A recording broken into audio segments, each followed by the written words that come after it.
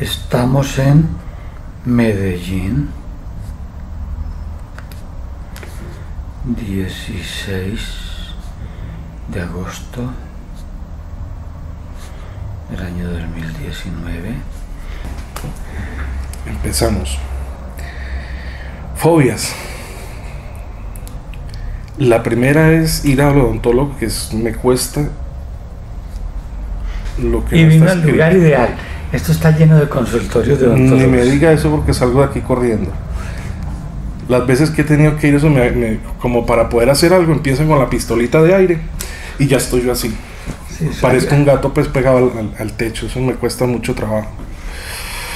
Otra, tengo un problema con, la- eh, con claustrofobia, pero muy específicamente eh, tiene que ver con, con cuevas y no tengo ni idea por qué. Ahora nos damos cuenta que pasó en tus vidas pasadas. Y, y hay, otra, otra también que tiene que ver con, tengo un miedo a, a- a ser enterrado vivo. O sea, yo, eso tiene mucho que ver la una con la otra porque de eso me di cuenta cuando estaba viendo una película y que tenía que ver con unas personas que estaban enterrados en una- unas piedras. Me tocó salirme de la, de la, de la película y poder con el Ah, control así. listo. Ahora enfrentamos eso de una vez. Eh, un miedo a, a- a un miedo a la altura, a pesar de que como ingeniero trabajo en alturas, es, es, es, es ilógica porque yo camino por, por, por unas vigas de 30, 40 centímetros y voy bien, pero me subo a la azotea de, un- de un edificio y apenas me asomo, siento de aquí de, de la barriga que me agarran y me jalan y yo me voy a caer, me voy a caer y me tengo que tirar al piso. Claro. Algo pasa, no sé qué sea, de dónde esté, pero ahí va. O sea, que no servirías para caminar por esas pasarelas chinas de vidrio en esas montañas. Yo, pu- no le digo que yo camino por vigas así, vacío acá, vacío acá y voy tranquilo, pero me monto en, unas, en la azotea de un edificio y ahí ya me entra el yello. No sé por qué. Eso es algo ilógico. Los mismos empleados me dicen, pero pues, ¿cómo es ingeniero? No, quién sabe qué pasó en un pasado. Otra, miedo a los, a los cadáveres. Yo no puedo ver un, a un cadáver. Por ejemplo, se ha muerto mi papá, mi, madrina, etcétera, y yo no he, ido, no he sido capaz de acercarme al, al- al cajón. Murió mi papá.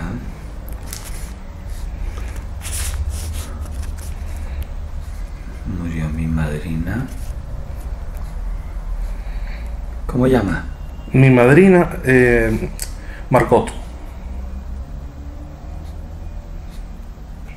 Listo. Siguiente.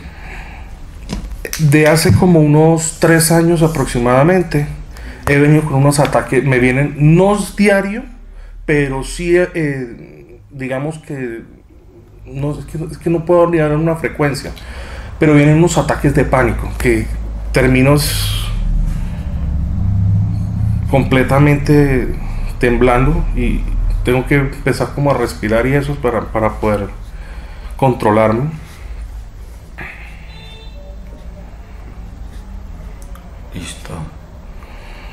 Eh, bueno, aquí este, este, este punto sí es un poquito extenso. Es en cuanto a la... Es una falta de motivación en la vida.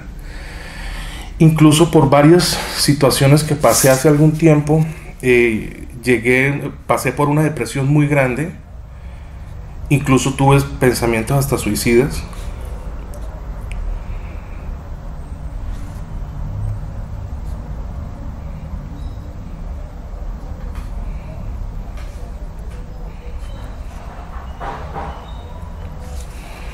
Eh, a, ra- a raíz de todos esos pensamientos y eso, una amiga que trabaja pues con Reiki, pues ella es reikista y eso, me, me refirió con un amigo de ella, supuestamente tenía un espíritu y no sé qué, y bueno. Otra, eh, de pequeño fui abusado sexualmente, incluso de adulto también lo pasé.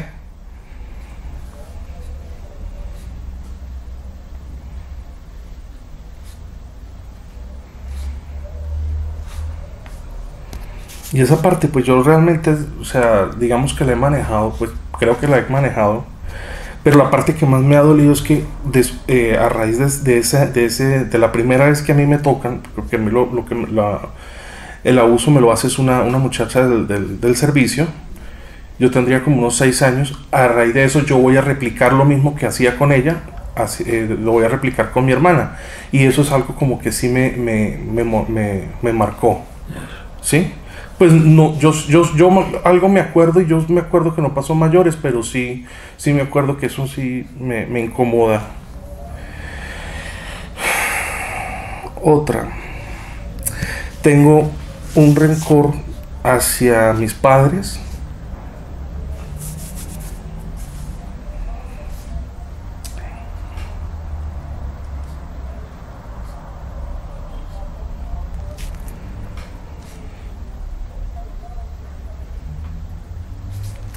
en dos sentidos. Uno, porque eh, los castigos que me hacían eran bastante, bastante agresivos, me marcaban mucho físicamente y eh, pues no eran, no eran constantes, pero cuando sucedían sí eran bastante agresivos. Y la otra, porque sufrí como, ¿cómo decirlo? O sea, de niño, sí, mi papá siempre decía que lo cría en la calle, el hombre de la calle es lo tiene que criar en la calle.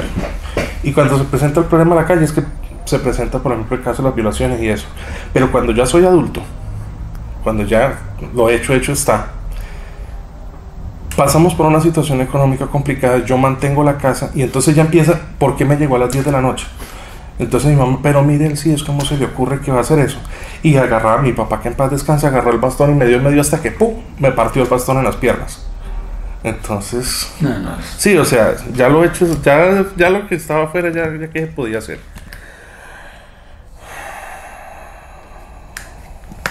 Bueno, a partir de ahí es que yo, yo digo, yo no quiero tener hijos porque yo quiero, no quiero, creo como evitar ese ciclo vicioso. Entonces no sé si de pronto eso se pueda como, más que todo es como, como sacar eso, ¿no? Como sacar esos rencores.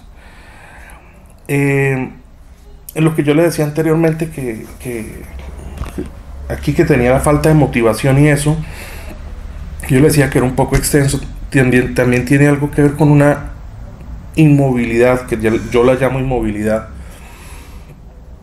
y es que desde muy pequeño, muy, muy pequeño, mi mamá me, mi mamá me cuenta todavía que ella, por decir algo, nos veníamos para acá al consultorio. Y ella me decía, Richard, siéntese acá.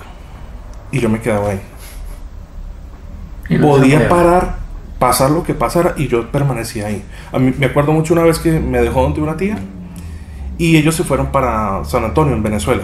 Y el paso pues era muy complicado, y ellos llegaron como a las 8 y 9 de la noche, algo así. Y era la hora que ellos habían llegado, yo todavía sentado en el mismo puesto. Solamente me paré para ir al baño, volví, me senté y de ahí no me moví. O sea, de ese estilo era mi inmovilidad. Y esa inmovilidad, eh, digamos que se tradujo en muchos aspectos de mi vida, ¿sí? Era muy quieto en el colegio, me iba muy bien en, en las clases, etcétera, etcétera pero yo nunca, o sea, no podía, nunca disfruté de pronto de una niñez, no disfrutaba de, Sí, ¿me entiendes? O sea, fui muy, muy, muy cerrado en ese sentido.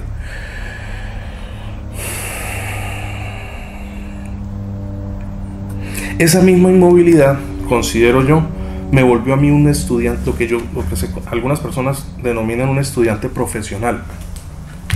¿Qué es esto?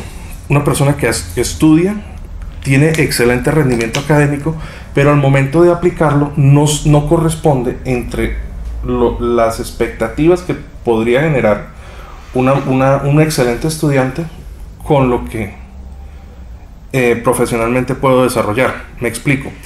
Ahorita que me estoy quedando donde un amigo y él me decía, Richard, yo te veo muy pegado. No tienes nada que ver entre el muchacho emprendedor que yo conocí al hombre que estoy viendo hoy día. O sea, yo te veo, o sea, era para que fueras ahorita pues la lumbrera.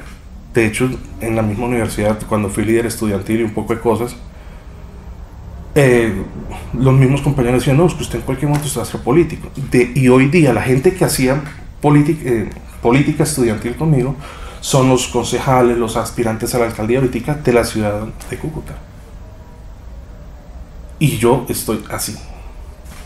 Claro, yo no digo que no trabaje, sí, yo trabajo, yo gano, tengo mis ingresos pero no, o sea, entre lo que hay acá y lo que hay en la realidad no, no hay correspondencia. ¿Ok?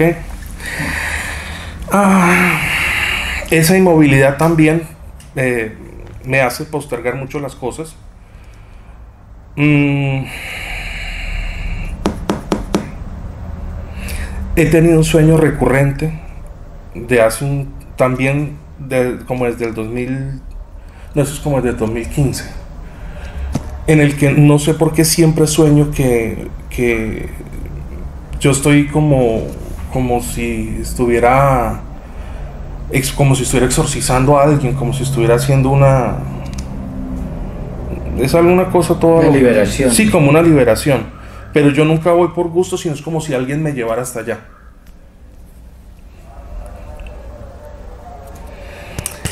Aquí tengo eh, respeto obsesivo. bueno, Ok. Esa inmovilidad de lo que yo le comentaba, que desde niño yo era muy quieto. eh, yo me, me acuerdo mucho, yo la relaciono, creo yo, con un, un respeto casi que obsesivo hacia, la, hacia las autoridades, hacia la figura de autoridad. Llámese padre, Maestro. un policía, un maestro. Entonces yo permanecía era así. Cada vez que tenía algo así, casi que me inmoviliza. Volví y juega la, la inmovilidad de la que yo le hablo.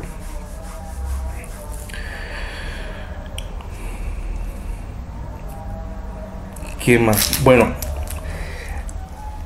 yo dejé de fumar hace nueve años, exactamente.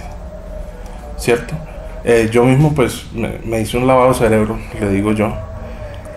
Y bueno, realmente yo empecé a, subir de peso un poco antes, pero era un, un sobrepeso entre comillas normal.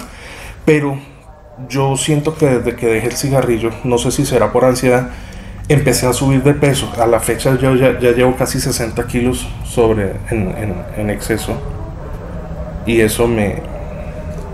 Obviamente me está pasando facturas. En rodillas y demás.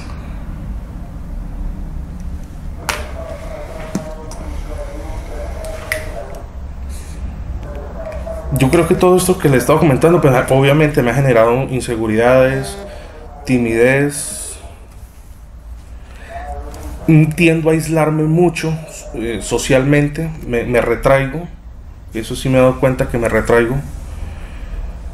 Me autoexcluyo, incluso alguien muy allegado también me decía, pues que yo no entiendo usted por qué se, se, se, se, autoexcluye si nadie lo está excluyendo. Y yo le decía, no sé, me siento así.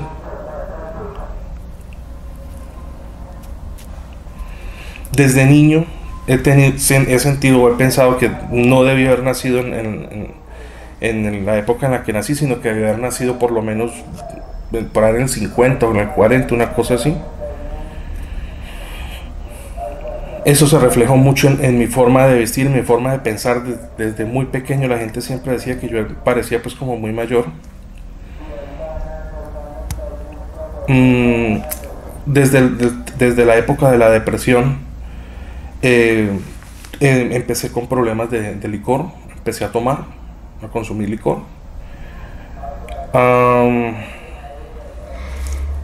Depresión, ta ta ta ta.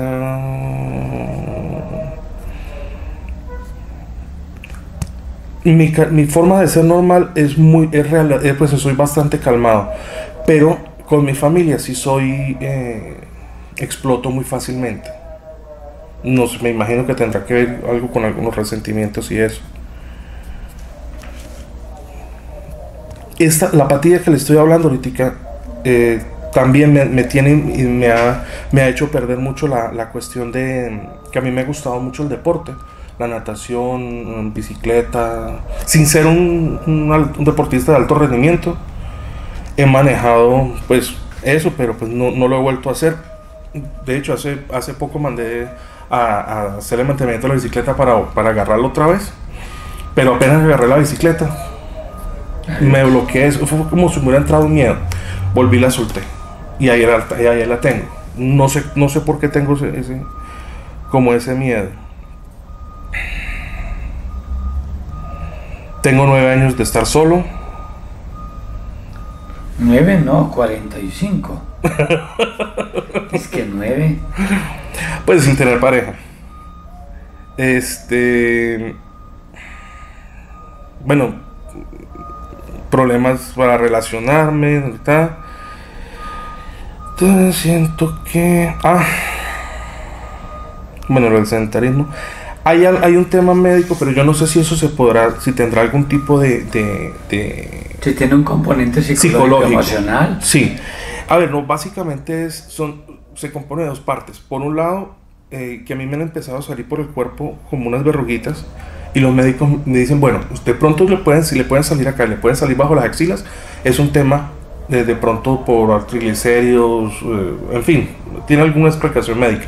Pero lo que no, eh, los dos, dos médicos que les he consultado me dicen, lo que no entienden es por qué aparecen estas en los brazos principalmente. Y a la vez me han aparecido como unas eh, costricas, digámoslo así.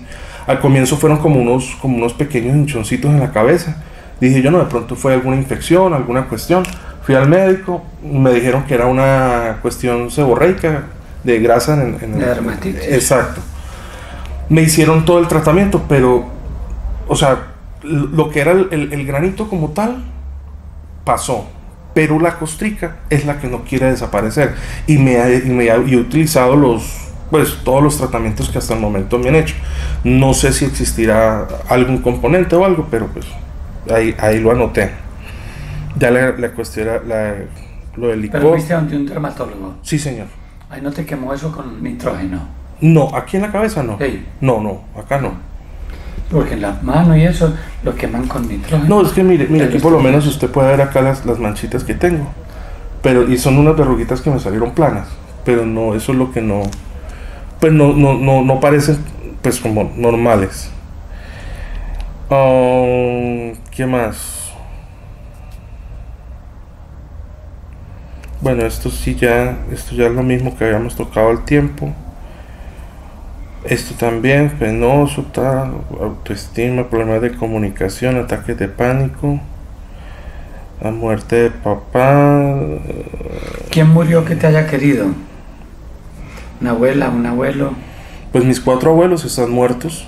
Murieron mis abuelos. Eh, mi papá, mi madrina, ¿Cómo llaman los abuelos que murieron?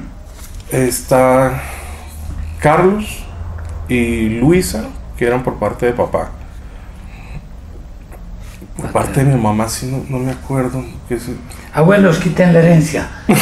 No se acuerda cómo se llama su abuelo. Abuelo, Este, no le vuelva a decir que el nieto es suyo. José María. José María. y eh, Fidelina. Bueno, vuelva a poner en la herencia. José María. Y Fidelina. Fidelina. Fidelina. Fidelía. Fidelía. Fidelina. A Fidelina. Sí, señor. Ah, bueno, y esta última, que no sé si se podrá. Que bueno, desde muy niño, de- literalmente desde muy niño, he visto personas alrededor mío, eh, situaciones que tienen que ver mucho con sensibilidades y demás. Pero eh, el hecho de, de- del, del desdoblamiento, pues la- al salir al astral, de un tiempo aproximadamente de los 12, 13 años más o menos, me bloqueé, que fue cuando tuve la, la propi- propio, propio, o sea, yo desde niño lo hacía, yo salía, volaba, iba y venía, pero pues para mí eso era un juego. Pero como a los 12, 13 años, que fue cuando propiamente tuve un, el- propiamente un, desdoblamiento, yo le agarré mucho miedo porque yo pensé que era que me había muerto, porque cuando yo fui a, mover el- el- pues en medio del sueño yo sentía que tenía las piernas cruzadas, pero las piernas estaban estiradas y yo miraba para un lado, miraba para el otro y yo decía, pero ¿qué es lo que está pasando? Cuando miraba la cara lo único que veía era círculo negro, círculo gris, círculo negro, círculo gris. Yo decía, ¿qué es lo que está pasando? Yo, yo como que me morí cuando fui- le mandé el manotazo hacia la, a la- al ventilador, la mano pasó derecho. Y yo, igualito, ahora sí, Ay, perdón. me morí. Aquí fue. Y yo empecé a sentir que de aquí atrás me empezaban a alar, que me empezaban a alar durísimo, durísimo, y yo era que no podía, no podía. Y yo ahora sí me voy para el infierno, yo no he hecho nada, yo tengo No, como porque 12 infierno. años. Era mi, era mi concepción mental. ¿Cómo? Exacto. Asumiendo que ese Dios existe, que ese Dios lo creó, ¿cómo lo va a castigar por algo que él mismo hizo? Es que, es- es- eh, claro, es- esa misma, ese mismo razonamiento lo hice yo ya siendo más adulto. Pero siendo, siendo un niño de 11, 12 años, 11 años, 12 años, yo no, no, no, no, lo tenía claro. Claro, porque a Y- ese niño le metieron esas ideas equivocadas. Y además que yo estudié en colegio de, de curas, entonces se puede imaginar cuánto me, me, me hab- me hablaron de eso. Y obviamente, de ahí para acá me quedó el trauma y, me ha costado muchísimo volver a, a, hacer ese trabajo, pese a que más adelante trabajé, fui medium y todo eso, pero... Vamos a retirar eso. Entonces vamos a comenzar, hacemos un corte en el video. 5.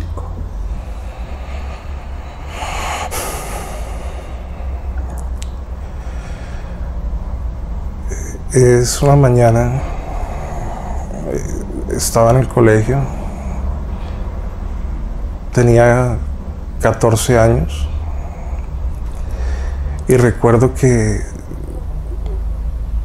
con los compañeros habíamos hecho una travesura y los coordinadores del colegio nos estaban regañando.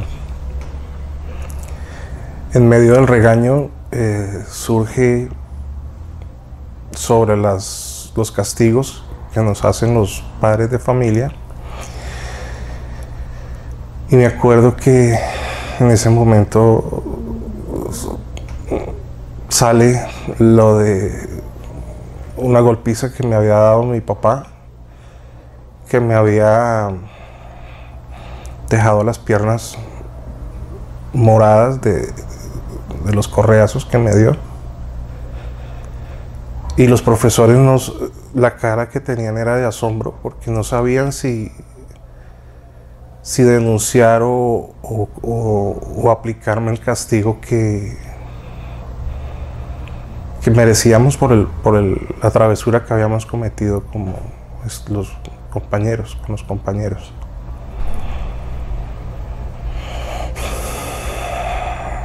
Fue un momento difícil.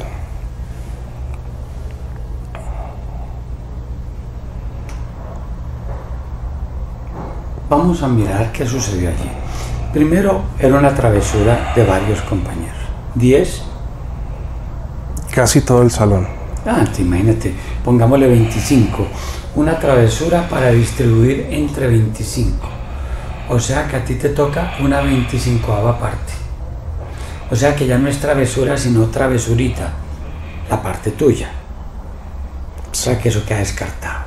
Una travesurita de niños en ese momento. Vamos a la segunda parte, el castigo que mi papá me dio. Primero miremos si fue a ti o no, porque si no fue a ti, botas corriente. Abre lo que sí fue a mí. Eh, eso hay que demostrarlo. Observemos, este cabello que estoy tocando acá, ¿es el del niño de 14? No. Evidentemente que no en esos 30 años que han transcurrido, ese cabello lo han cortado muchas veces. Este esqueletón grande, talla 45, esos huesos que palpo acá, son el esqueleto de 14 años. Evidentemente que no, cualquier antropólogo certifica que no corresponde el esqueleto. Esas muelotas grandotas, ¿Son los mismos dientes de ese jovencito de 14? Sí. Sí, son los mismos dientes. Ok. Lo invito a que le pongas esta dentadura imaginativamente a ese jovencito de 14.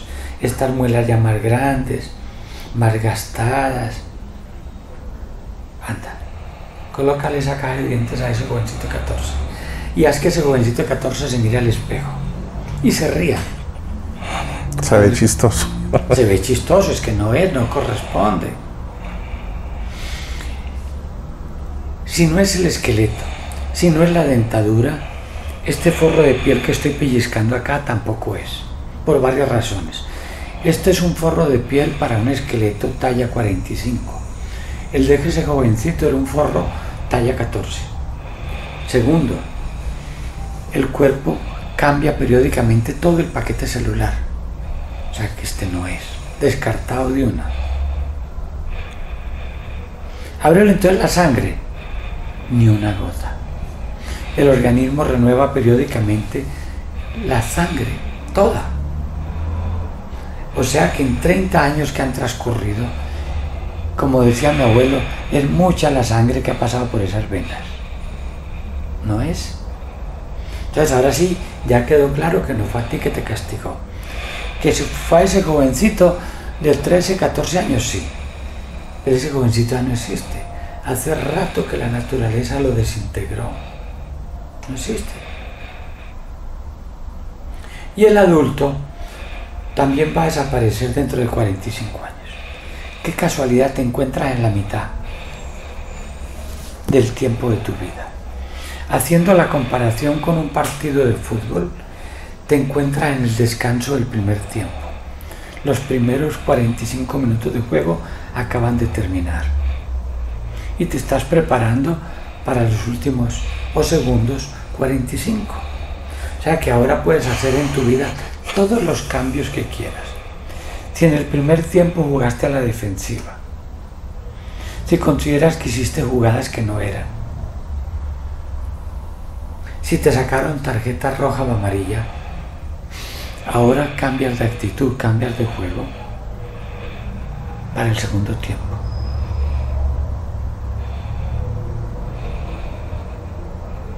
Entonces cierra ya ese capítulo de José jovencito, aquel papá en ataques momentáneos de locura, porque no era permanente, eran momentáneos. Le dio esos golpes con el bastón o con la correa. Claro está que ese capítulo lo puedes dejar abierto seis meses más si quieres. O la otra opción, esperas 45 años a que la pelona retire eso. ¿O lo retira de una vez? De una vez. De una vez, casar abierto ese capítulo más tiempo. De una vez cierra ese capítulo. Eso ya pasó. Y en ese espacio que queda libre, coloca algo bonito, algo feliz, algo positivo. Unas flores. Súper. Entonces coloca ahí unas flores bien bonitas. Ahora con esas flores en tu corazón, en tu alma, ve profundo a otro momento en el que te sentiste mal.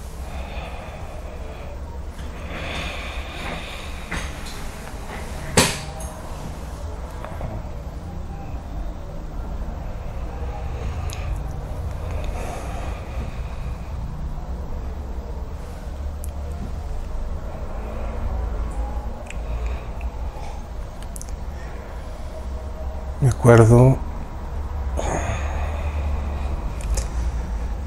tenía como seis años.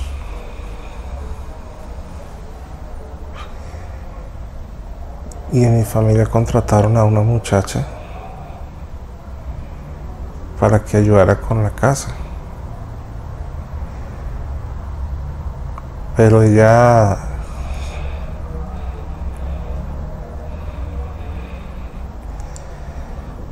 ella era como muy burlona y me acuerdo que ella me pedía que me quedara con ella en las tardes para jugar.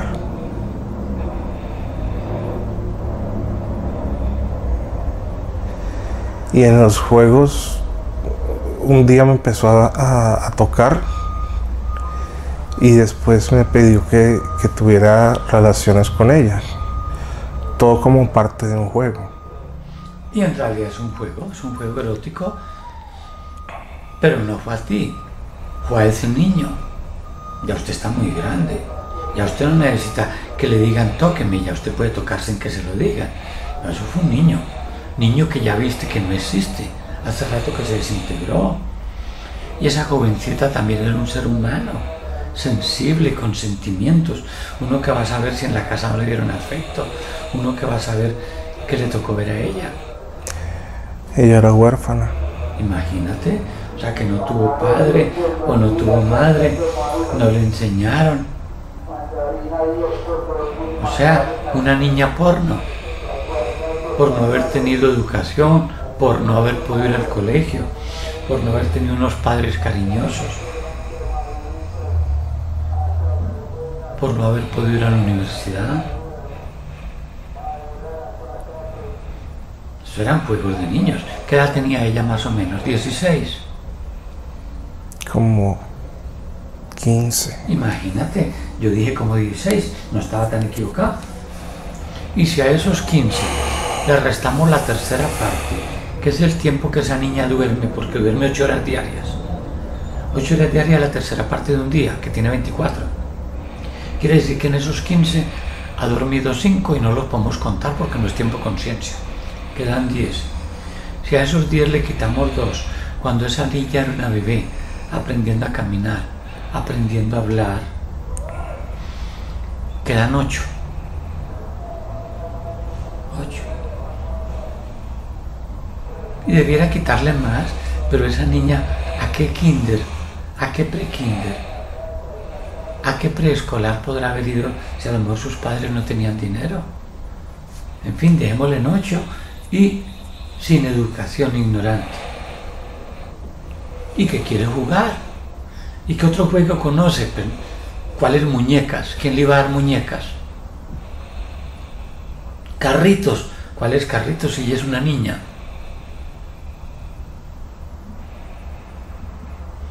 Y ahora miremos el niño ese niño tendría ¿cuántos añitos? ¿Seis? Seis. Exacto. Y hacemos la misma cuenta. A seis le restamos la tercera parte que corresponde al tiempo de dormido inconsciente. Dos, quedan cuatro. Un par de niños jugando juegos eróticos. La otra que usted puede dar el capítulo abierto seis meses más si quiere. O si no, lo cierra y deja ese espacio para cosas modernas bonitas.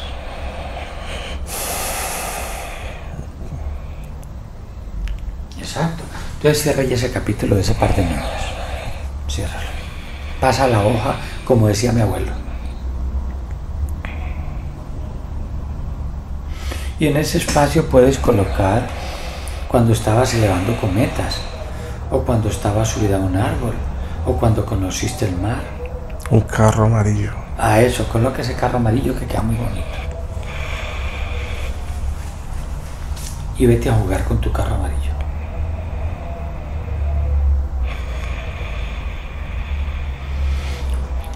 Tanto que ese color le gustó a los Beatles en Inglaterra, pero ellos no tenían un carro amarillo, tenían era un submarino amarillo.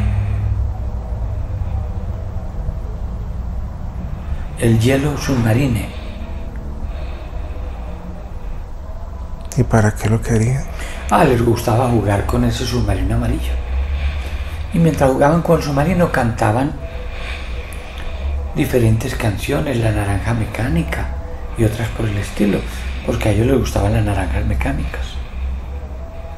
En fin, vayas a jugar con su carreta amarilla.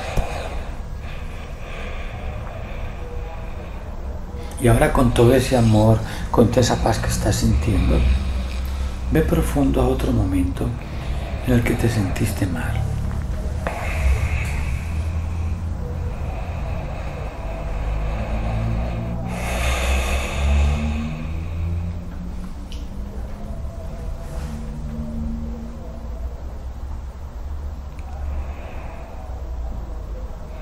Estoy como en un río.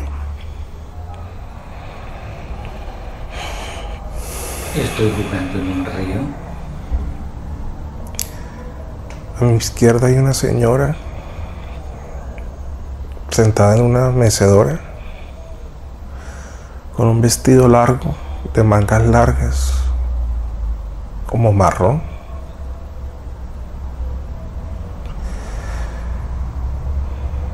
A mi derecha hay una, una mujer pues como una esclava negra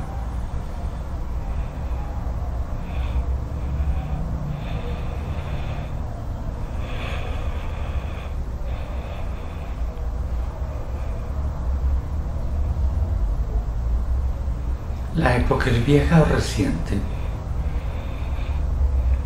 Es como vieja. Observa cómo eras tú allí.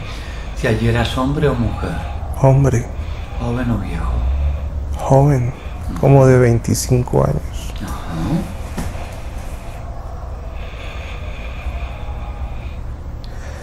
La señora, es, la señora era, era mi mamá.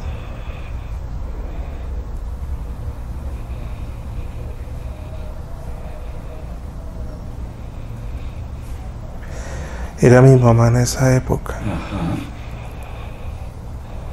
¿Y tú tratas bien a la esclava?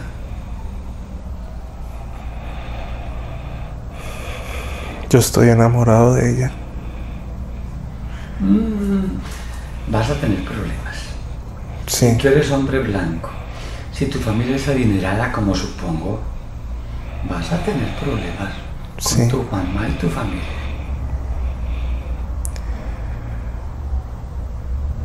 Mi mamá está muy brava.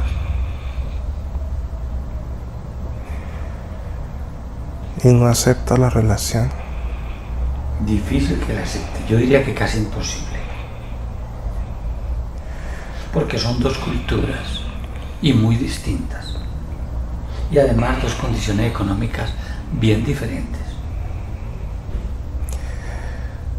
La mujer negra me reclama. Me reclama porque yo porque no la defiendo. Pero yo no soy capaz de moverme, no sé qué hacer. Me quedo inmóvil. Mi mamá la vende, la castiga, no sé qué pasa.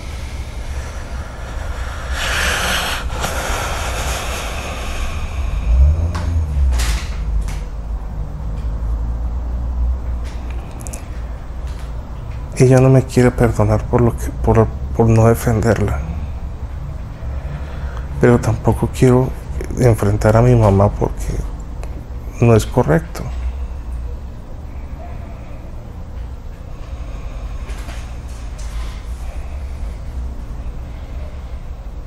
Pues esta vida tuya se está poniendo interesante.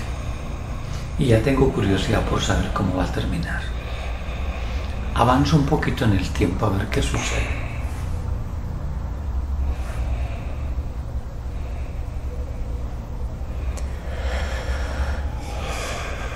Yo me caso con otra mujer. Blanca. Pero soy infeliz. Claro, te casaste por conveniencia, no por enamoramiento. A la, otra, a la esclava la, la vendieron. Y más nunca volví a saber de ella.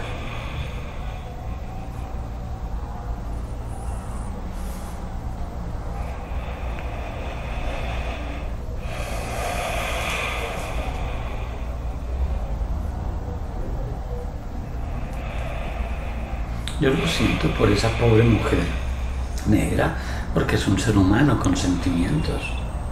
Por ella lo siento. Y por ti también. Pero algo tenían que aprender todos allí. No pierdas de vista que somos espíritus que vinimos a este planeta o a otros planetas del universo a aprender, a espiar, corregir faltas o a misión.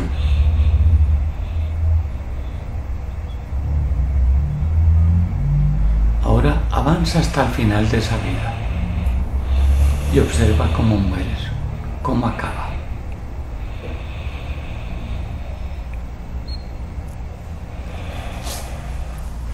Estoy en una cama. Estoy viejo. Enfermo. Es como. como.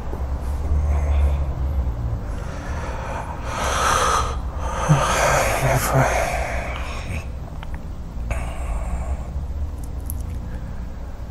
Me respirar.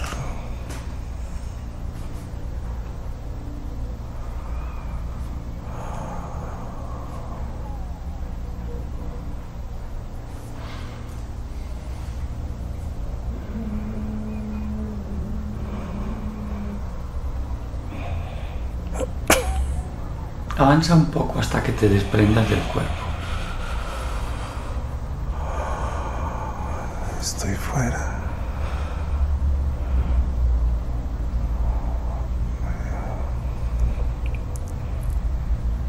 Estoy a un lado de la cama. Me quedo quieto, inmóvil.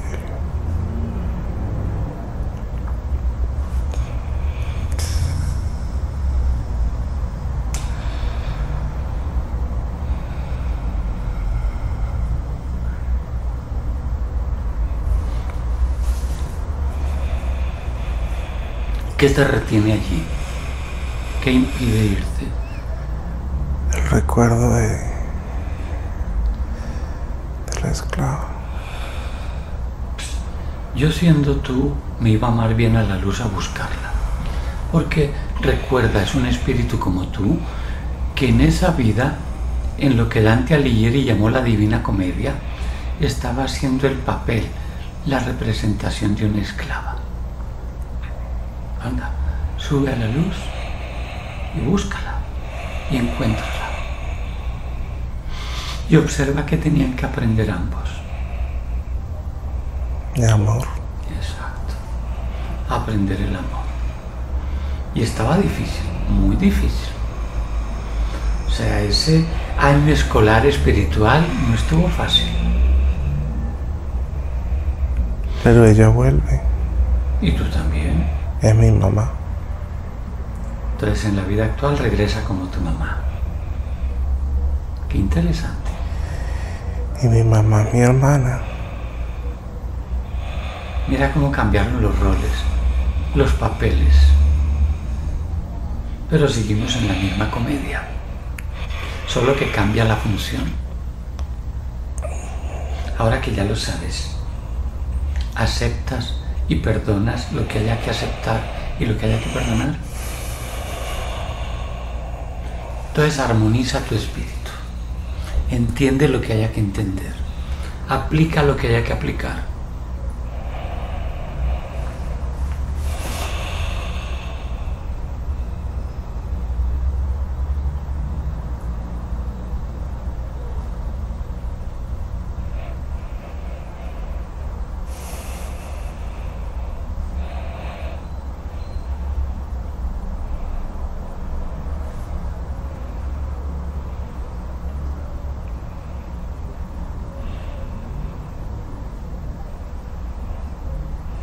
Conclusión, se resume a lo mismo la enseñanza, el amor.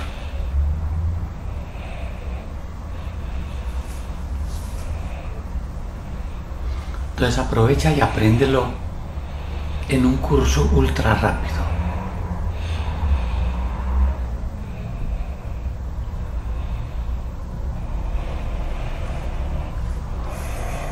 Y voy a aprovechar que estás en la luz para leer algo que escribí cuando tú llegaste en la vida actual.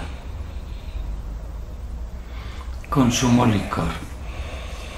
¿Qué consejo te envías desde esa luz con respecto al licor en la vida actual? Que haga frente a los problemas. Listo, no huyas de los problemas, no trates de ahogar las penas, porque ellas aprenden a nadar. Enfrenta las dificultades, los problemas.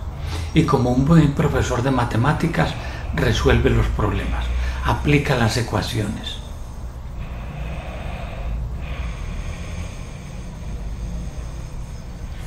Entonces retiras el licor de la vida actual. Entonces retira esa porquería. Fuera. Out. Te traduzco el inglés. Out significa fuera. Out. Fuera. Y ahora en ese espacio que quedó libre donde estaba el licor, coloca confianza, positivismo, cosas que para ti sean alegres, bonitas, positivas.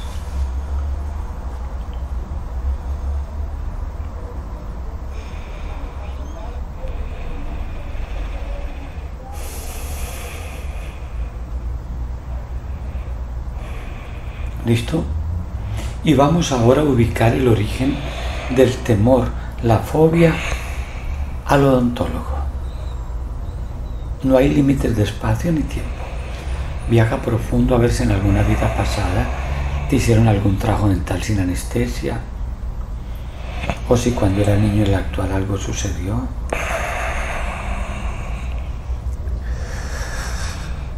Estoy en el.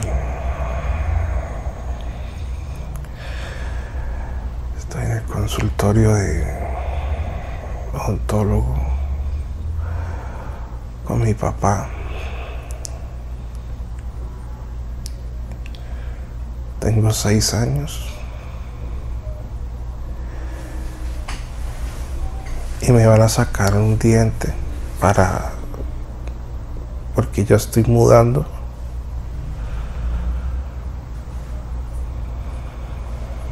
Pero tengo miedo.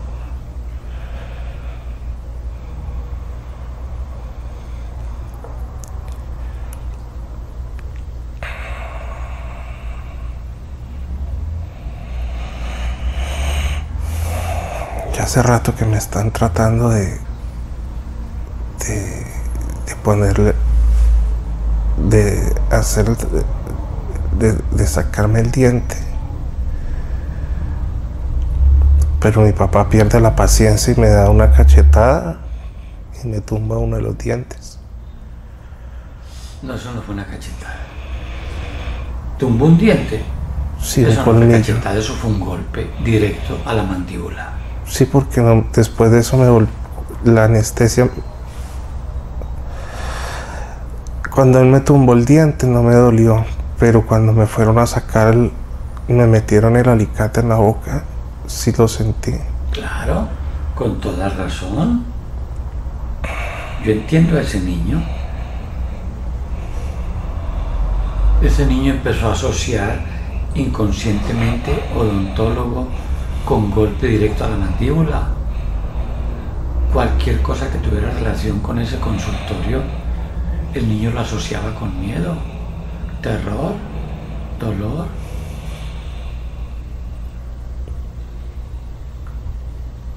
No, vamos a ayudar a ese niño. Primero hay que calmarlo. Anda, abraza a ese niño interior. Ese niño interior necesita afecto. Y si el niño quiere llorar, déjalo que llore. Pero necesitamos calmarlo.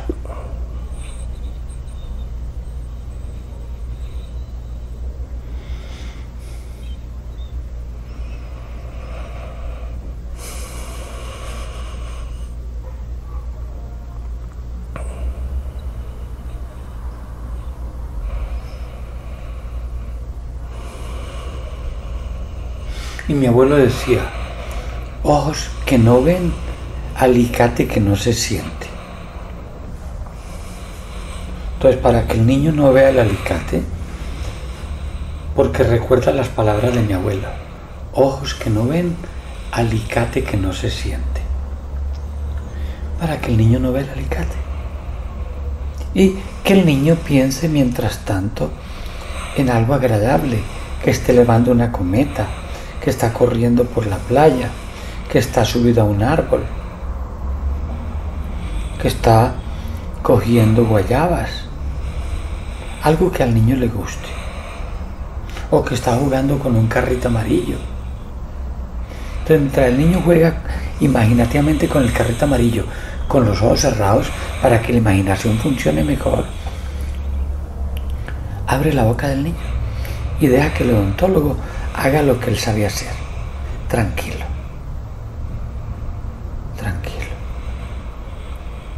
Mientras tanto juega con tu carrito amarillo. Y esperemos a que el odontólogo termine lo que tiene que hacer. Mientras tú juegas con el carrito amarillo, yo tomo café. Pero no abran los ojitos, déjalos cerrados, porque ojos que no ven, alicate que no se siente.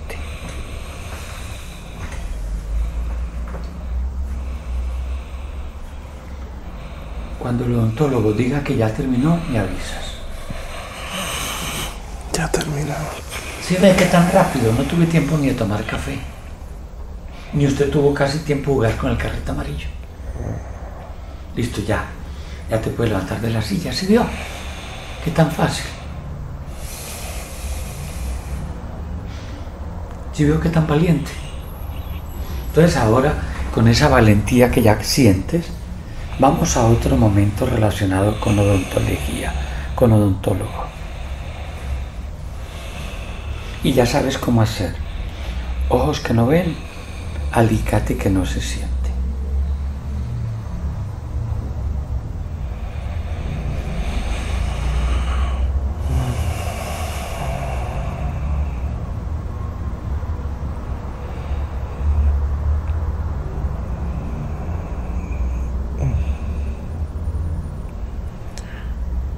Y un señor.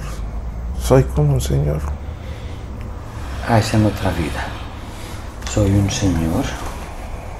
Y tengo un, como un acceso.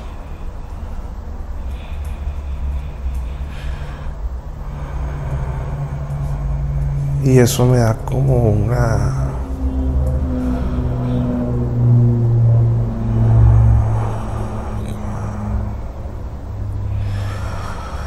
como una infección.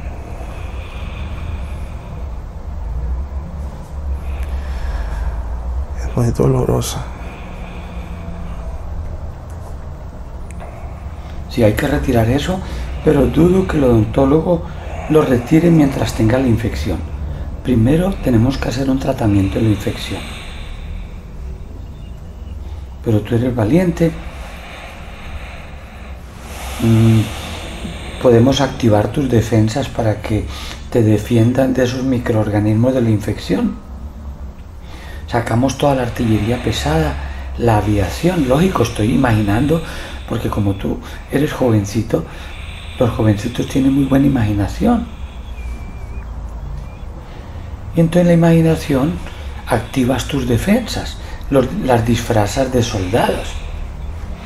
Algunos los pones de artillería, otros los pones de infantería, otros de la aviación. Y comenzamos a atacar la infección, a defender ese cuerpo de infección. Porque no podemos hacer un tratamiento odontológico mientras haya infección. Entonces yo voy tomando café mientras tú pones a funcionar todas las defensas del cuerpo. Ya tú diriges un batallón para acá, un batallón para allá, la artillería la pones aquí, enviar la aviación. Con toda esa imaginación que tú tienes. Y yo tomo café. Y cuando hayas vencido la infección me dices.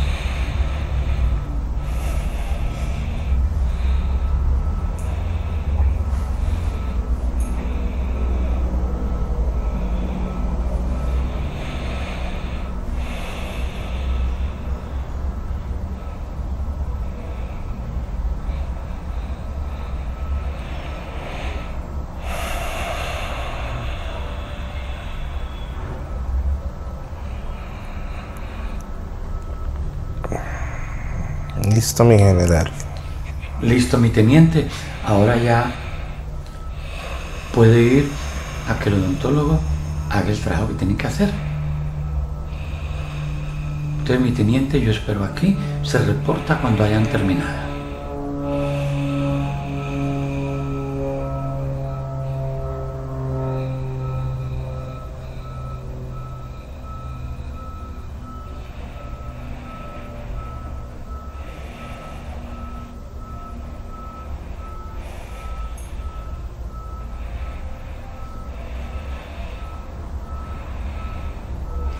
Recuerde, mi teniente, ojos que no ven, alicate que no se siente.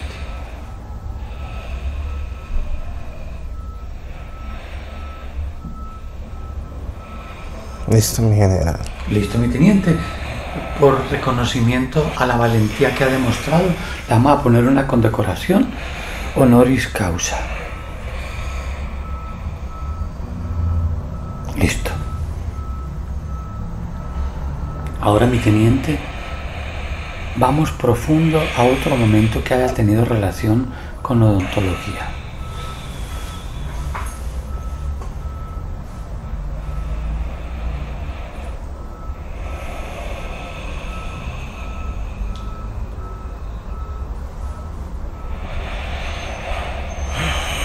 Hay un indiecito.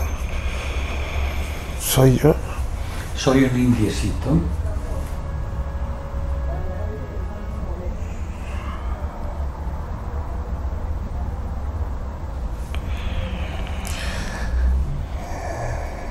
Es como.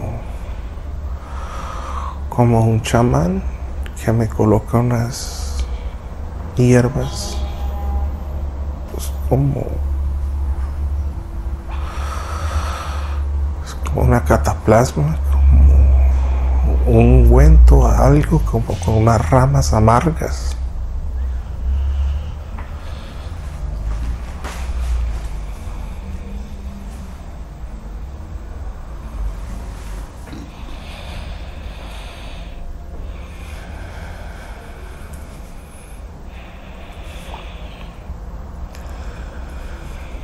me hace algo en la boca.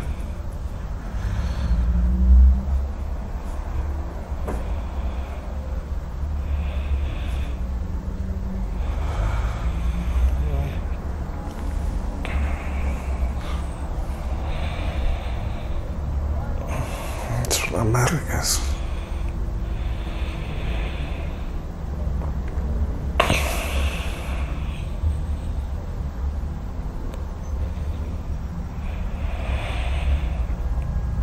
pero me ayudan con, con, el dolor. Claro, porque a nivel inconsciente te concentras en el sabor, en lo amargo, y no en el supuesto dolor. O sea que eso tiene su explicación y se ve que el chamán es un experto, se ve que sabe lo que está haciendo. Entonces concéntrate en el sabor, en el amargo. Y deja que el chamán haga su trabajo. Y recuerda, ojos que no ven, trabajo que no se siente.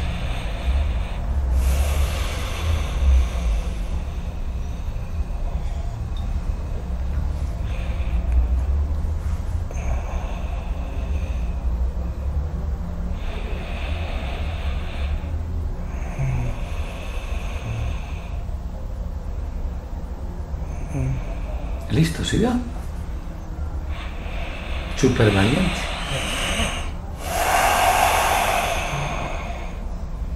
Ya vas a ser ejemplo de valentía en la tribu.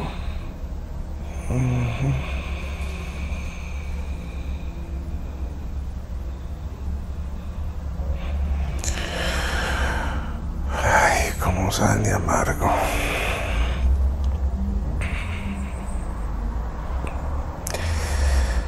Pero ya no duele. Exacto, qué bueno.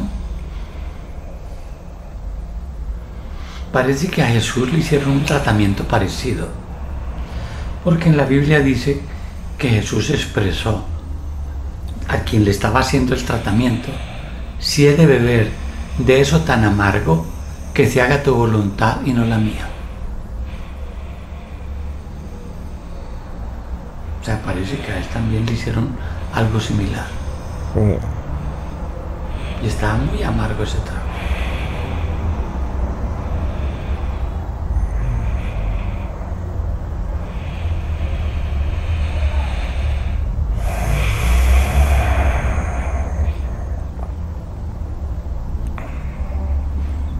Ahora que has visto que eres tan valiente, ¿cómo te sientes? Bien. Súper. Entonces con esa valentía que ya llena todos los poros, todo tu ser, ve profundo a otro momento que haya tenido relación con odontología.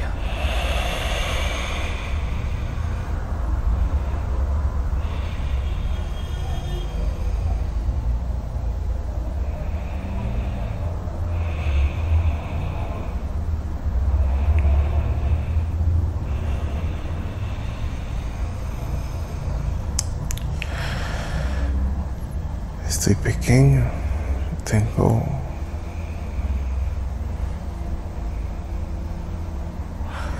como ocho años, pero ya no tengo miedo. Te felicito, te felicito.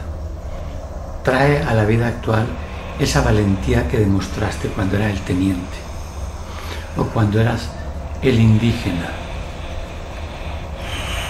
y llena de esa valentía al Richard actuar. Y ya lo sabes, ojos que no ven, alicate que no se siente.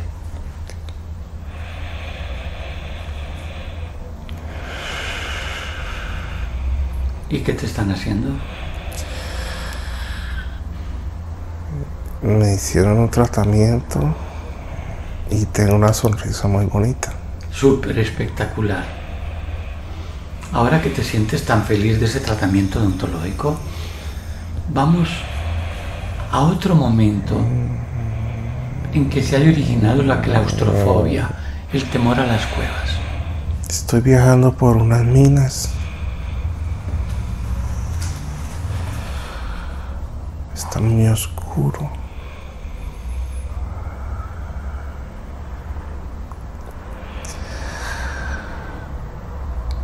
Profundo.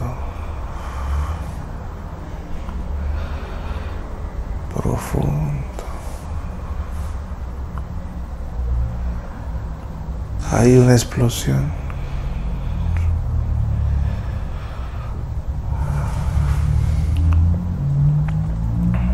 ¿Eres minero? Está muy oscuro.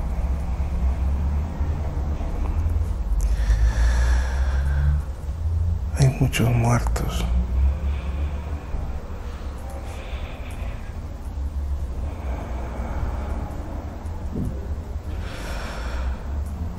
No encuentro la salida.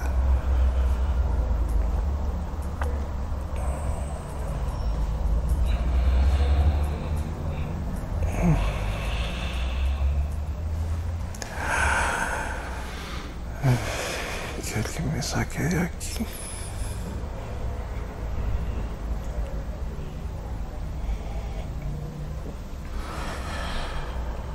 No quiero estar aquí. Que me saquen de aquí.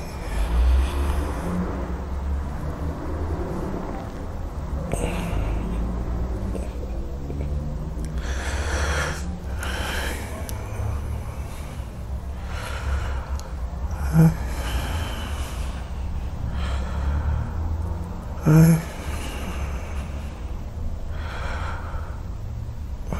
muchas piedras.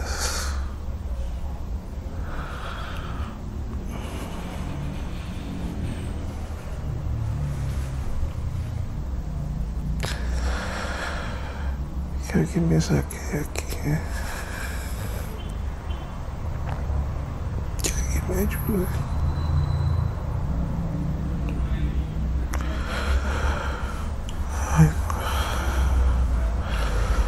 No me puedo mover.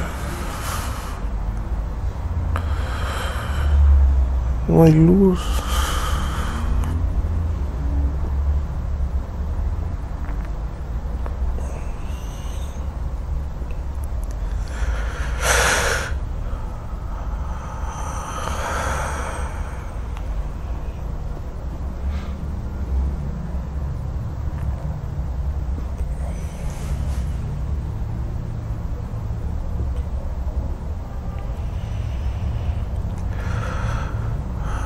Me estoy ahogando.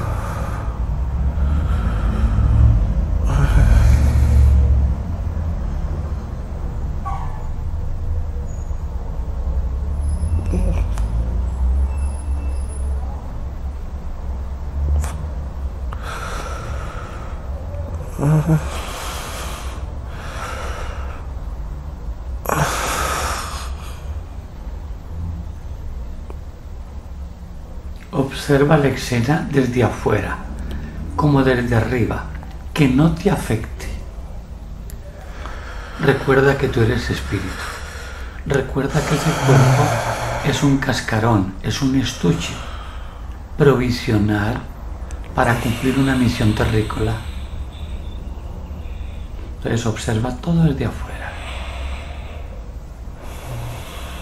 Y si es que ese cuerpo va a terminar allí, observa neutramente, tranquilamente, cómo se extingue, cómo se apaga ese cuerpo robótico, porque es como un robot de última tecnología, pero es un robot. Ese robot se apaga, pero tú, que eres la energía vital, el principio vital, llámalo espíritu o alma, trasciendes y no hay cueva que te retenga, porque tú puedes atravesar sólidos, tú puedes viajar por el espacio a altísima velocidad. Entonces simplemente por curiosidad, terrícola, observa cómo se extingue, cómo se apaga, cómo deja de funcionar ese robot.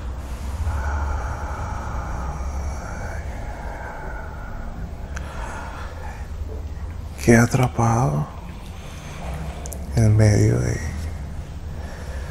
escombros de piedras. regresó a la tierra a la que vino. Ese cuerpo estaba hecho de, de átomos, de moléculas. Átomos y moléculas del universo, polvo de estrellas. Pues regresa a donde vino. Eso es todo. Va a entrar a un proceso de descomposición molecular.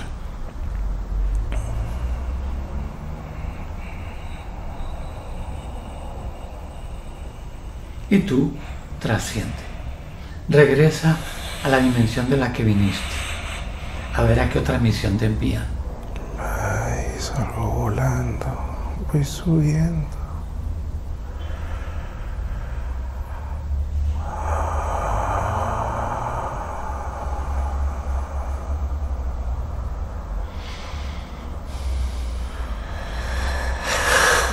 Ay, Como una luz. Ajá. Me están esperando. Te está esperando la luz. Hay Bueno. un señor que me espera, que me está recibiendo. Misión cumplida. Ya puedes hacer un balance si hiciste bien tu misión, tu proceso, tu trabajo terrícola o algo te faltó.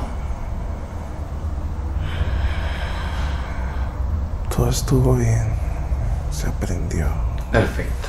Entonces voy a aprovechar que estás en la luz para leer algo relacionado con Richard en la vida actual. Las fobias que él tenía para ir al odontólogo, ¿ya eso fue sanado completamente? Perfecto. Ahora está lleno de valentía. El miedo a ser enterrado vivo, ya que sabemos el origen, la causa, ¿lo retiras? Completamente. Out, fuera.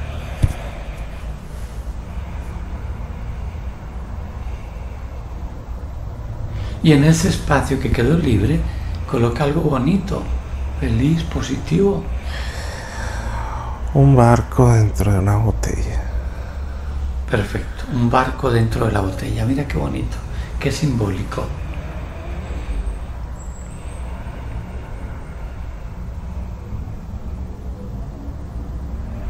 Ahora, con ese simbolismo tan bonito, encuentra el origen del miedo a la altura.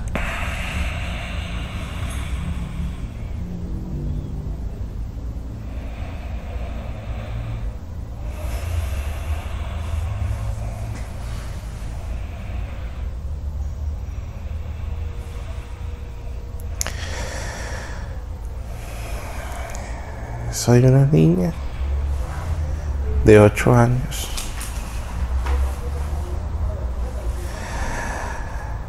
Estoy subiéndome a un árbol.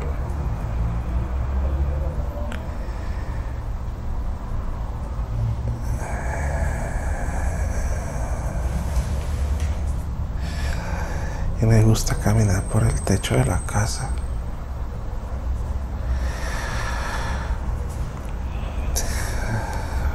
pero la el techo es como como de paja y el techo y caigo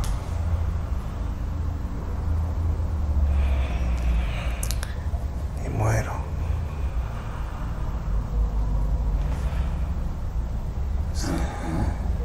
O sea, esa vida fue corta.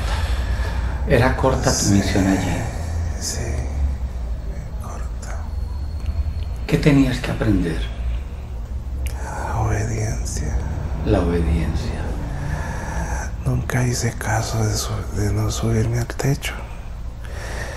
Y por subirme al techo fue que morí. Listo. ¿Qué consejo le envías desde esa dimensión a Richard en la vida actual?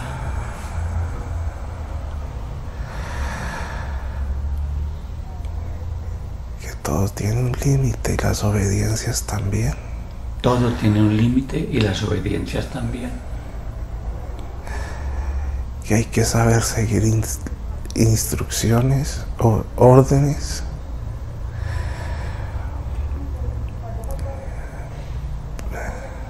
Pero saber hasta, ¿Hasta dónde? hasta dónde. Estamos de acuerdo. Entonces, corrige en Richard lo que haya que corregir. Retira lo que haya que retirar. fuera con el miedo que él tenía a la altura. Out.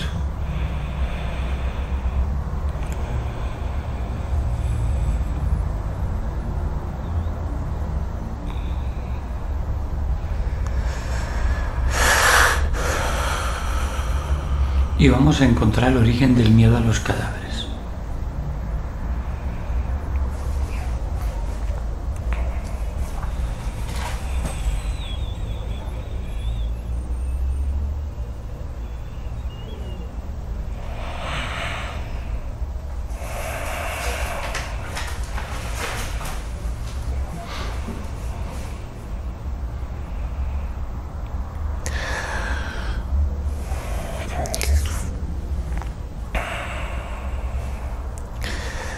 Es como una cárcel. Huele muy mal.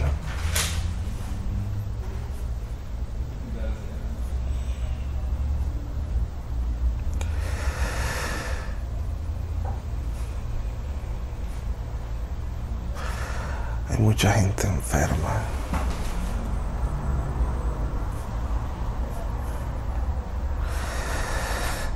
Es como en Francia. es como, como, no, bien, pero hay mucha gente enferma, hay muchos muertos en la calle. Tienen la, la boca tapada.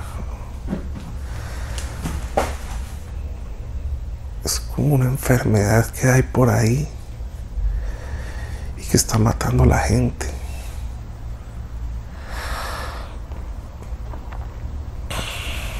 hay muchos muertos.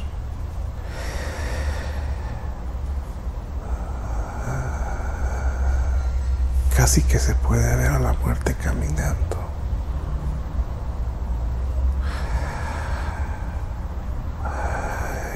Da miedo estar vivo.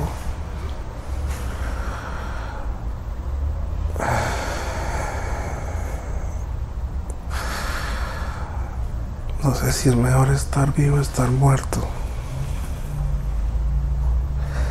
Se sufre mucho.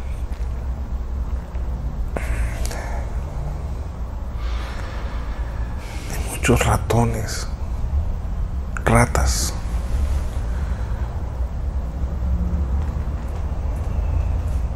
Huele muy mal. Huele como a- como como podrido.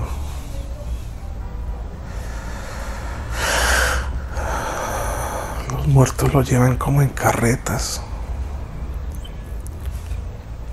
como pedazos de carne, como costales. Hay muchos muertos, muchos cadáveres.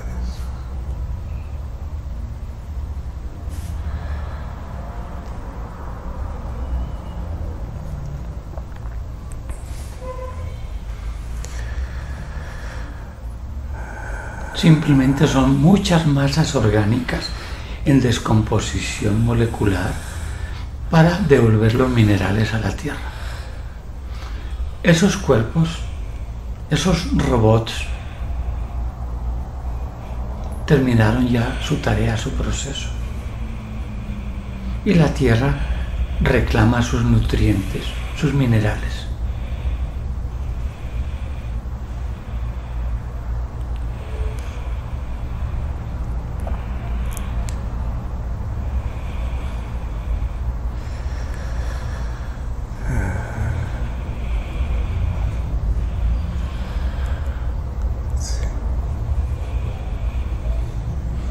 También tendrás que devolver dentro de un cierto tiempo los minerales que tienes prestados y que conforman ese robot biológico, que es simplemente un instrumento, un vehículo para cumplir tu misión terrícola. Entonces observa desde afuera, desde lo alto, la escena para que no te afecte. Pero entiende que ese fue un proceso por el que pasó la humanidad y que alguna enseñanza dejó para la medicina. Eso ocurrió también en Italia, en Venecia. Los médicos tenían que salir con una máscara que tenía un pico así largo como de ave y en ese pico colocaban algodones con los que ellos creían rechazaba los vapores de los enfermos. Algo así como el origen de las máscaras antigas, de las máscaras antivenenos químicos en el aire. Todo eso ha sido avance para la humanidad. Entonces ahora vamos al momento final de tu cuerpo robótico, al momento en el que tú también te desprendes de él. Y observa si fue allí o tiempo después. Poco tiempo después. Bueno, ¿entiendes? Es ser un proceso. Ahora que ya lo sabes, retiras ese temor que tenías a los cadáveres. Entonces retíralo completamente, no lo necesitas.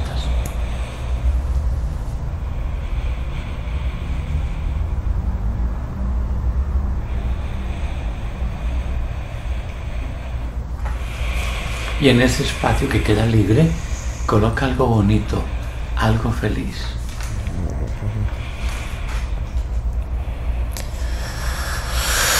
La cometa.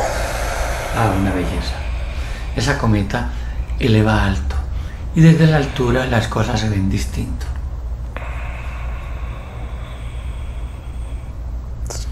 Ahora vamos a encontrar el origen de los ataques de pánico.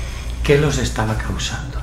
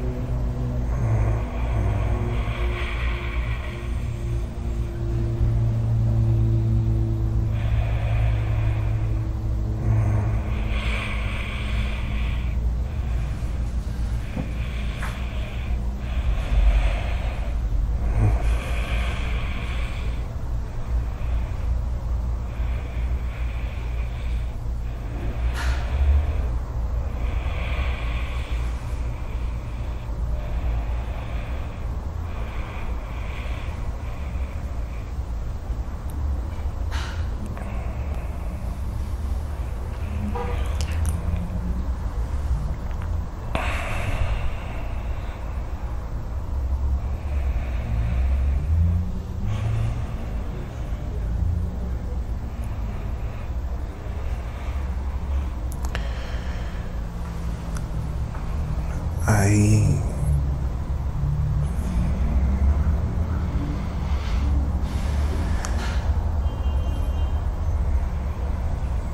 Como una persona.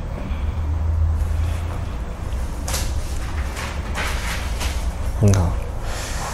Es como una energía. Pero no es buena. Es densa, es oscura.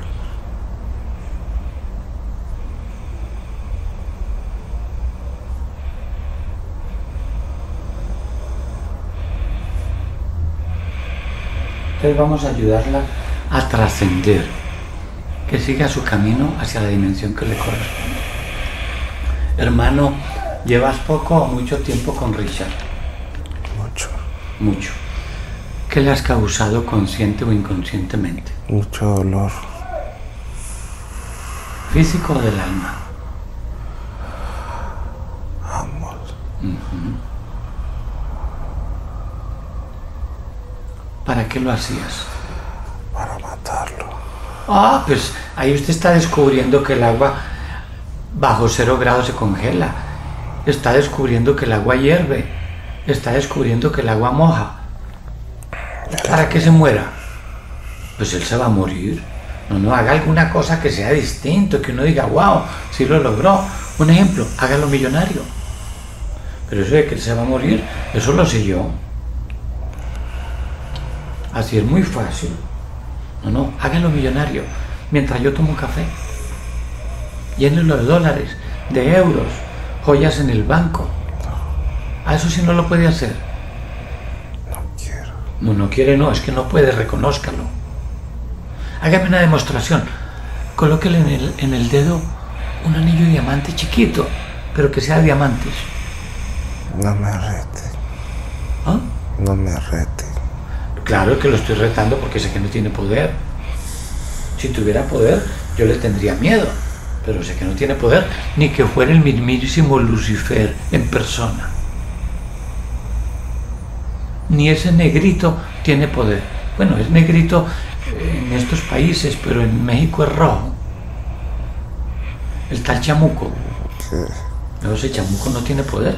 Ni el diablo, ni el Lucifer, ni el demonio, ni la bestia, ni el 666. Ah, no pierda más tiempo aquí. Váyase para la luz y pídale perdón a Richard.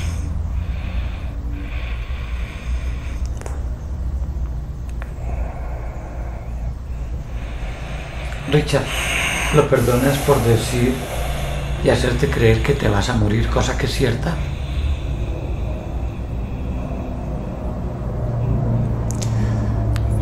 Entonces perdónalo y ayúdalo a trascender. Envuélvelo en una nube de luz. Y ayúdalo a subir.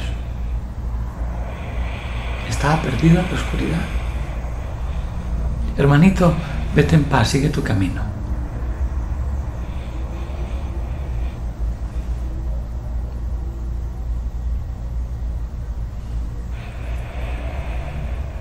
Ya se fue.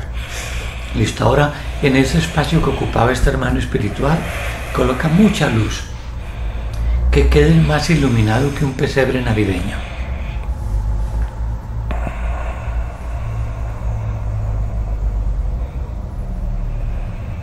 ¿Listo? Ahora busca ver si encuentras más motivos para ataques de pánico.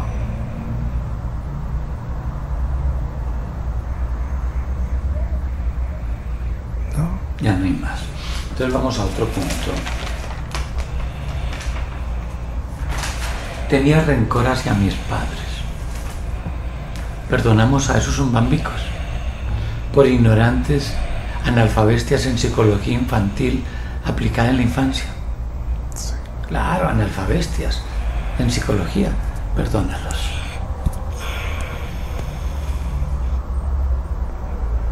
Inmovilidad. ¿Qué la estaba causando?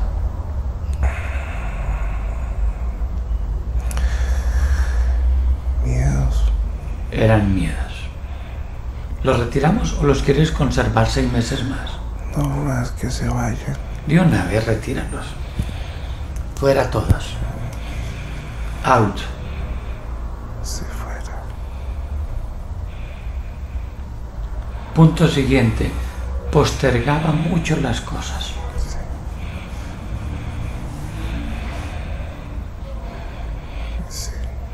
Me haces acordar de los mexicanos que también acostumbran mucho el pos. Pues hágale, pues órale, pues ándele, postérguelo. Pues órale. Entonces retiramos esos dichos mexicanos que permitiste que entrara a tu vida. Postergo. Pues hágale. De aquí en adelante cambiemos ese postergo, pues hágale. ¿Listo? Vale. Y vamos a otro punto. Soñaba recurrente como exorcizando a alguien. Recuerde que usted tenía muchas vidas pasadas. Y en alguna vida pasada usted fue chamán. Fui chamán. ¿Listo?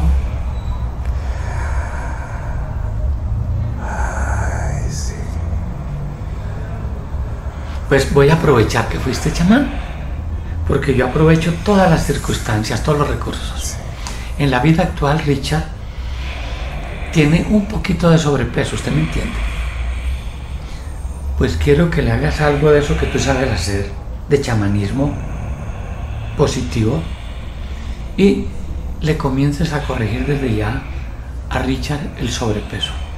Primero encuentra la causa. ¿Qué lo motivaba a él a comer compulsivamente? Tristezas. Eran las tristezas. Entonces retirémoslas para que él no tenga el pretexto.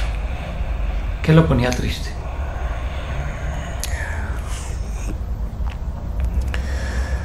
sentirse solo. Ajá.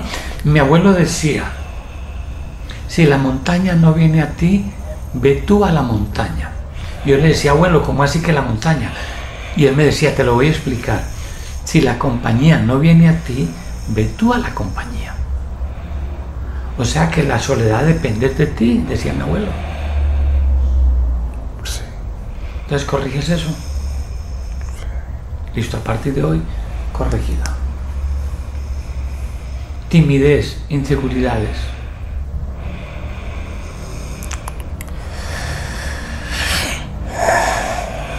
Timidez es una palabra que se forma con otras palabras. Se forma con te mides. Tú te mides con otros, te comparas con otros. Y cuando consideras que los otros son superior, entonces tú te pones chiquitico. Y ahí viene la palabra te mides, timidez.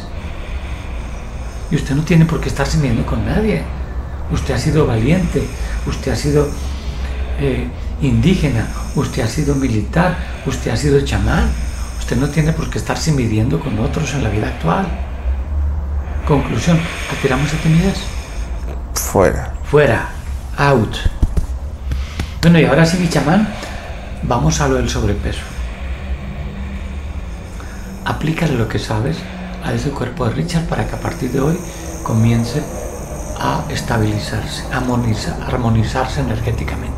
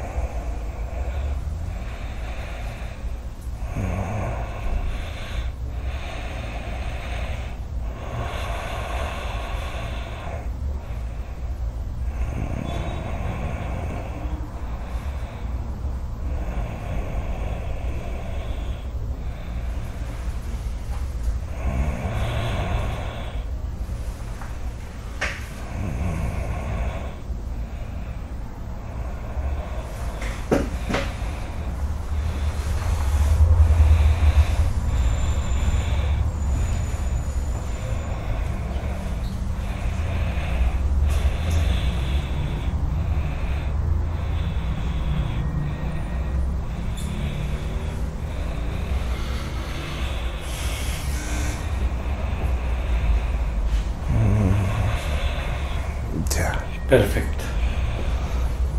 Entonces, mi chamán, ¿consideras que ya Richard está preparado para regresar y comenzar desde ya a disfrutar esa nueva actitud positiva de vida?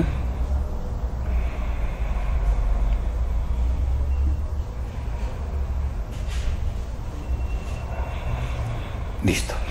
Bueno, mi chamán, último favor, que seas tú el que despierte a Richard, lleno de energía positiva, saturado de alegría, de positivismo.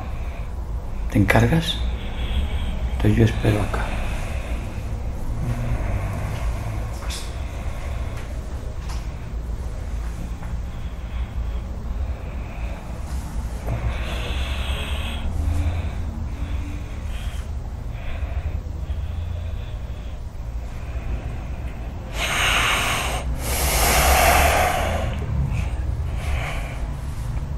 Hola.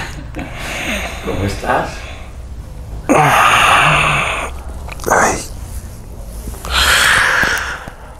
¿Qué pasó? Ay. Aproximadamente cuántos minutos llevas en esa camilla? Ay, no sé, como 10 minutos, 15 minutos. Por ahí 15. Más o menos. Sí, ¿cómo te sientes? Ay, como tieso, pero bien. ¿Qué recuerdas?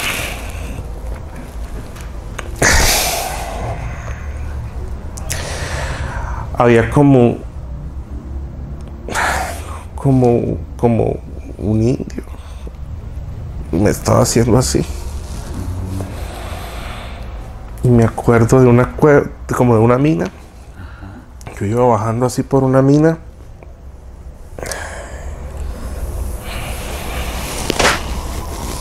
Y me acuerdo de una niña. Como en un, como, como, como en un techo. Jugando. Bueno, entonces te hago la pregunta que le hago a todos los miembros y a todos los chamanes. ¿Permites compartir esta bonita experiencia? Sí. Entonces vamos a suspender. Me tapa la cara. Listo. Bueno, pues hoy es 11 de mayo de 2019. Estamos en Las Vegas, Nevada, Estados Unidos. Hoy es el quinto día del curso de hipnosis introspectiva dictado por Aurelio Mejía. Eh, acabamos de terminar una terapia muy bonita que ya van a ver ustedes su desarrollo. Hoy es el día de clausura. Eh, es un grupo muy bonito que se ha formado. Les invitamos a que se sigan inscribiendo a los cursos, a que sigan en YouTube eh, todos los videos, que le den like. Posteriormente, eh, en octubre, va a estar nuevamente en Ciudad de México impartiendo cursos y terapias y en Chicago también en octubre. Para eh, información, llamar al personal de contacto, en este caso yo, Erika Ortiz, eh, estoy encargada de México y Estados Unidos, se pueden contactar al 0052 984 214 14 92. En España, Jorge Puyana. En Colombia y en otros países encontrarán los datos en nuestro sitio aureliomejía.com. También pueden ver videos de terapias en el sitio de YouTube Hipnosis y Sanaciones. Entonces nos despedimos hoy desde Las Vegas, Nevada, mañana de otro lugar del mundo.